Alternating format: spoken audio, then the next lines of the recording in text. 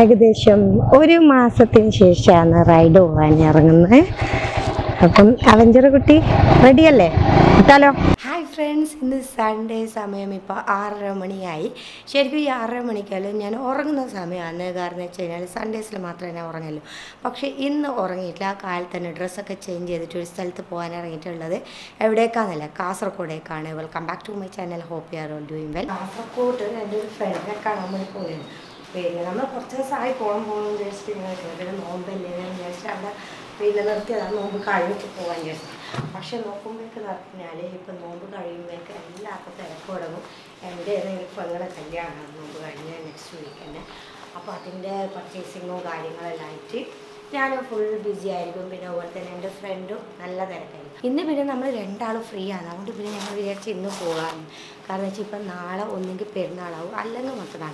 ഇപ്പം നാളത്തെ നമുക്ക് ഉറപ്പ് പറയാൻ പറ്റില്ല ഞങ്ങൾ ആദ്യം നാളെ പോകാമെന്നെല്ലാം വിചാരിച്ചിട്ട് പ്ലാൻ ചെയ്തതാണ്. പക്ഷെ പിന്നെ പിന്നെ വിചാരിച്ചു കാരണം വെച്ചാൽ പെരുന്നാൾ അഥവാ നാളെ ആണെങ്കിൽ പിന്നെ മറ്റേ ഏഹ് നമുക്ക് തിരക്കിടും. പിന്നെ ആ പ്ലാനിങ് എല്ലാം അവിടെ സ്റ്റക്കാവും പിന്നെ കുറേ കഴിഞ്ഞിട്ട് നമുക്ക് പോകാൻ പറ്റുള്ളൂ. അങ്ങനെ പോയിട്ട് വലിയ കാര്യമില്ല അതുകൊണ്ട് അത് ഇന്ന് സെലക്ട് ചെയ്തത്. ഉമ്മ എണീക്കുന്നതിന് മുമ്പ് എനിക്ക് വണ്ടി എടുത്ത് പുറത്ത് ഇറങ്ങണം. ഞാൻ ഉമ്മാനോട് പറഞ്ഞിട്ടില്ല. ഞാൻ ഇന്നലെ തീരുമാനിച്ചിട്ട് മാച്ചൂനോട് പറഞ്ഞു പക്ഷെ ഉമ്മാനോട് പറഞ്ഞിട്ടില്ല.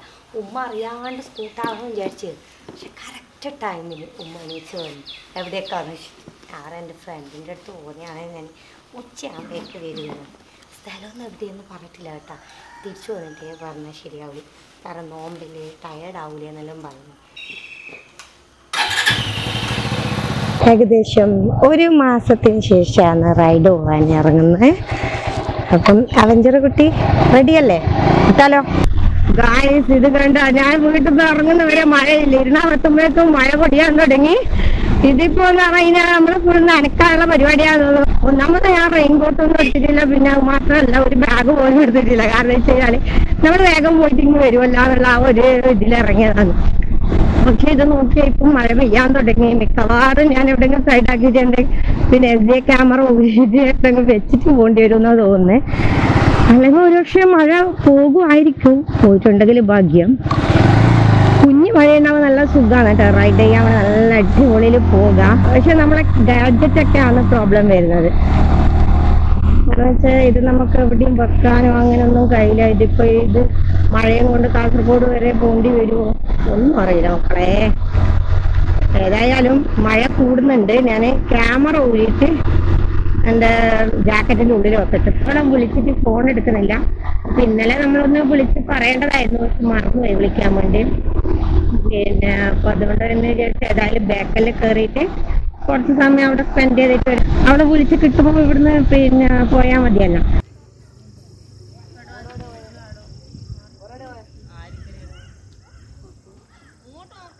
അതാണ് എന്റെ ഫ്രണ്ട് അവൾ അവിടുന്ന് ഫോട്ടോ എല്ലാം എടുത്തുകൊണ്ടിരിക്കുന്നുണ്ട്. ഞാൻ പാർക്കിങ്ങിൽ കൊണ്ടുവച്ചിട്ട് വന്നു. ആ ബാക്കലിൽ വന്നിട്ട് ഏകദേശം പത്ത് പതിനെട്ട് വർഷമായി കേട്ടോ. കല്യാണം കഴിഞ്ഞ ആ സമയം ഇങ്ങോട്ട് വന്നതാണ്. അതിന് ശേഷം പിന്നെ നമ്മൾ വന്നിട്ടില്ല ഒരുപാട് തവണ വരണം വരണം വിചാരിച്ചു. പക്ഷെ വരാൻ പറ്റിയില്ല. ഓക്കെ എന്തായാലും പിന്നെ അതുപോലെ തന്നെ കാസർഗോഡ് രണ്ട് പ്രാവശ്യം വന്നിട്ടും വരാൻ പറ്റിയില്ല.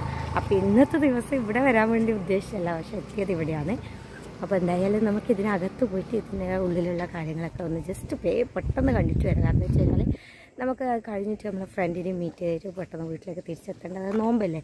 അധിക സമയം തിരിഞ്ഞ് കളിക്കാൻ കഴിയില്ല. തിരിഞ്ഞ് കളിക്കുമ്പോൾ എന്തെങ്കിലും കുടിക്കണം.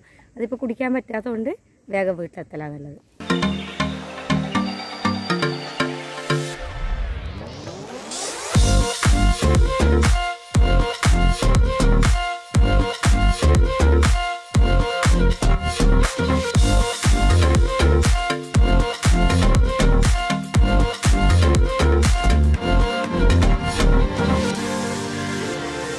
എൻട്രൻസ് ഫീ വരുന്നത് പിന്നെ ഇരുപത്തഞ്ച് രൂപയാണ്.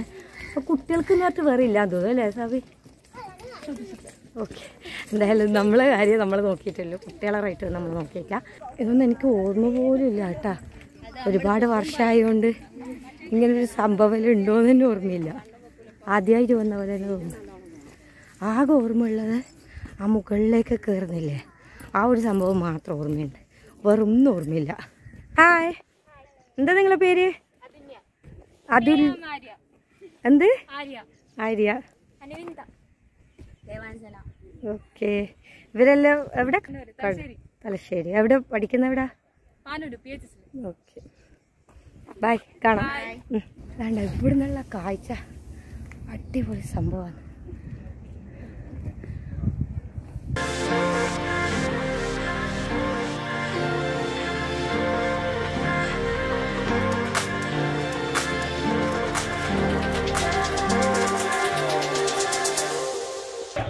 പെട്രോൾ അടിക്കണം ഞാൻ പെട്രോൾ പമ്പിൽ ഉണ്ടാവേ ഞാൻ കാലത്ത് വന്നുകൊണ്ട് പെട്രോൾ അടിക്കാണ്ട വന്നത്.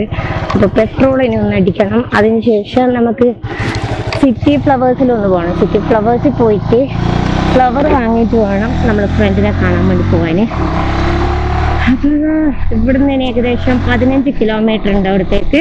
വെയിൽ ഉദിച്ചുകൊണ്ടുണ്ടല്ലോ ബാക്കിൽ നിന്ന് റൂമിലേക്ക് തന്നെ വിയർക്കാൻ തുടങ്ങി. ഇനിയിപ്പം ജാക്കറ്റും കൂടി ഇട്ടുകൊണ്ടിട്ടല്ല നല്ലോണം ചൂടെടുക്കാൻ തുടങ്ങും എനിക്ക് ഏതായാലും നമ്മൾ വേഗം അവിടെ മീറ്റ് ചെയ്തിട്ട് തിരിച്ച് വീട്ടിലേക്ക് എത്താനുള്ള പരിപാടിയാണ്.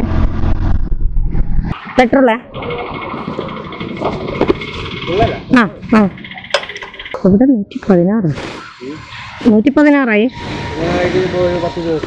ഏ നമ്മളവിടെ നൂറ്റി പതിനഞ്ച് സംതിങ് ആ. നൂറ്റി പതിനാറ് എത്തിയിട്ടില്ല കണ്ണൂര്. അതെയാ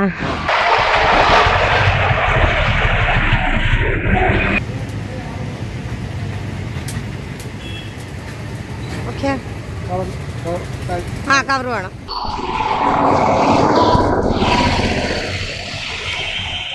ആഞ്ജനേയ ടെമ്പിളിന്റെ അടുത്ത് എത്താനാണ് പറഞ്ഞത്. പക്ഷെ കുറേ ടെമ്പിളൊക്കെ നമ്മൾ നോക്കി പക്ഷേ ഇതൊന്നുമല്ല. പിന്നെ മാത്രമല്ല ഇതിലാണെങ്കിൽ കന്നഡയിലാണ് എഴുതിയിട്ടുള്ളത്. മലയാളം മാത്രം അറിയാവുന്ന നമ്മൾ എന്ത് ചെയ്യും എന്ന് വിചാരിച്ച് ഇവിടെ ഇങ്ങനെ നിൽക്കുകയാണ് അപ്പോൾ അവർ നമ്മളെ കൂട്ടാൻ വരാമെന്ന് പറഞ്ഞിട്ടുണ്ട്. നമ്മളിത് ഇവിടെ ഒരു ഷോപ്പിംഗ് കോംപ്ലക്സിന്റെ അടുത്ത് നിൽക്കുന്നുണ്ട് നോക്കാം.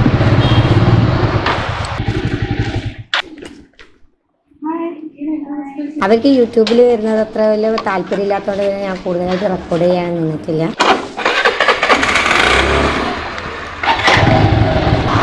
എനിക്കൊന്ന് ഫ്രണ്ടിന്റെ അടുത്തും കൂടി കയറാനുണ്ട് കാരണം വെച്ച് കഴിഞ്ഞാൽ അവിടുന്ന് ഒരു സാധനം എടുക്കാനുണ്ട്. പിന്നെ അവൾ ഈ ചോക്ലേറ്റ്സും അങ്ങനെ ബേക്കിംഗ് സാധനമൊക്കെ ചെയ്യുന്നുണ്ട്. മുമ്പ് ഞാൻ അവളെ പരിചയപ്പെടുത്തി തന്നിട്ടുണ്ട് ഞാൻ സലു കിച്ചൻ പിന്നെ സലു കിച്ചന്റെ സന്ദർഭനെ കാണാൻ വേണ്ടി പോയത്. ഇവളെ സ്റ്റാറ്റസ് എന്താണെന്ന് കണ്ടിട്ടാന്ന് പറഞ്ഞിട്ട് ഞാൻ പരിചയപ്പെടുത്തിയിട്ടില്ലേ അപ്പം അവളാണ്. അവൾ ചോക്ലേറ്റ്സും പിന്നെ അതുപോലെ തന്നെ ബേക്കിങ്ങിന്റെ എന്തെങ്കിലും സാധനം ഉണ്ടാക്കുന്നുണ്ട്. അപ്പോൾ ഈദിന്റെ ചോക്ലേറ്റ് ഉണ്ടാക്കി കസ്റ്റമൈസ് ചെയ്തിട്ട് ഉണ്ടാക്കുന്നതാണ്. അപ്പം അത് ഞാൻ മിന്നാതെ അവളെ ഇൻസ്റ്റയിൽ കണ്ടിട്ട് ഓർഡർ ചെയ്തതാണ്. അപ്പം നാളെ പെരുന്നാളാണെങ്കിൽ പിന്നെ രാത്രി ഒന്നും വരാൻ കഴിയാതെ പോകുന്ന വഴിക്ക് തന്നെ അതും കൂടി കളക്ട് ചെയ്യാൻ വിചാരിച്ചു. ഏതായാലും ഇതിന്റെ ടേസ്റ്റുകൾ ഞാൻ നോക്കിയിട്ട് പറഞ്ഞുതരാം.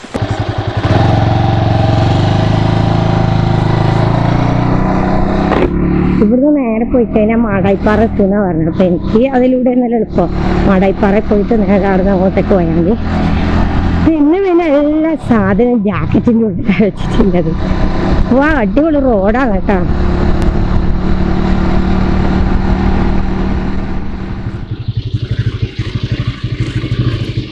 വീട്ടിലെത്തുമ്പോഴേക്കുണ്ടല്ലേ രണ്ട് മണിയായിന് തന്നെ കുടിച്ച് ഫ്രഷായി നിസ്കാരമൊക്കെ കഴിഞ്ഞ് ഒരു മണിക്കൂറെങ്കിൽ ഉറങ്ങിട്ട് ഞാൻ വെച്ചിട്ട് കിടന്നിരുന്നു അരമണിക്കൂർ ആകുമ്പോഴേക്ക് രണ്ട് മൂന്ന് കോൾ വന്ന് എണീച്ച് പിന്നെ ഉറക്കും അങ്ങ് പോയി. അങ്ങനെ ഞാൻ പിന്നെ നേരെ കിച്ചണിലേക്ക് വന്ന് കാരണം നോമ്പ് ഉറക്കാനാക്കണമല്ലോ ഒന്നും ഉണ്ടാക്കിയിട്ടില്ല. അങ്ങനെ നേരെ കിച്ചണിലേക്ക് വന്നിട്ട് ഇതാ പിന്നെ ഇലയടി ഉണ്ടാക്കി. ഞാനിപ്പോൾ നാളെ നോമ്പുണ്ടോ ഇല്ലയോ ഒന്നും അറിയില്ല. അതുകൊണ്ട് ഏകദേശം ലാസ്റ്റ് ഇരുപത്തൊമ്പതാമത്തെ നോമ്പിൽ നമ്മൾ ഇലയടി ഉണ്ടാക്കലുണ്ട്. അപ്പം അങ്ങനെ ഇലയടി ഉണ്ടാക്കി സ്നാക്ക് ഉണ്ടാക്കുന്നുണ്ട്. അത് ഉമ്മ ഉണ്ടാക്കുന്ന. ഉമ്മ പിന്നെ ബജ്ജി മുളകില്ലേ. ഫ്രൈ ചെയ്യാൻ വേണ്ടി പോവുകയാണ്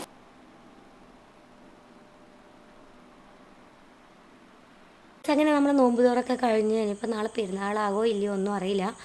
പിന്നെ ഇതുവരെ തക്ബീറൊന്നും അടിച്ചിട്ടില്ല. അപ്പോൾ ഏതായാലും ഇനി അടുത്ത പരിപാടി നമ്മൾ ഫുഡ് വാങ്ങിക്കാൻ പോക്കാണ്. മാട്ടൂലൊരു ഫ്രൈഡ് ചിക്കന്റെ ഷോപ്പുണ്ട് പിന്നെ ഇവിടെ സാധനം കുറവാണ് കേട്ടോ. കാരണം വെച്ചാൽ അഥവാ നാളെ പെരുന്നാളാണെങ്കിൽ എല്ലാം ബാക്കിയാവില്ല? അതുകൊണ്ട് ഇന്ന് അവർ സാധനം കുറച്ചുള്ളത്. പിന്നെ പൊതുവേ നമ്മളിവിടെ വരുമ്പോഴേക്ക് രണ്ട് മൂന്ന് ഷവായി എല്ലാം ഉണ്ടാകുന്നുണ്ട് പക്ഷെ ഇന്ന് ഇവിടെ കാര്യമായിട്ടൊന്നുമില്ല അപ്പോൾ ചോദിച്ചപ്പോൾ അവർ പറഞ്ഞു ഇപ്പം നാളെ അഥവാ പെരുന്നാളാണെങ്കിലും വിചാരിച്ച് നമ്മൾ കുറച്ചതാണ്. അപ്പോൾ പിന്നെ നമ്മളിവിടെ വന്നിട്ടാകുമ്പോൾ ഓർഡർ ചെയ്താൽ ആ സമയത്ത് ഇവരുണ്ടാക്കി തരുന്നു പിന്നെ ഫ്രൈഡ് ചിക്കൻ ആയാലും അതുപോലെ തന്നെ ഷവായി ആയാലും എല്ലാം ഒന്ന് ലാസ്റ്റ് എന്താ പറയുക ഫൈനൽ ടച്ച് ചെയ്യുന്നത് നമ്മളിവിടെ വന്നതിന് ശേഷമാണ്.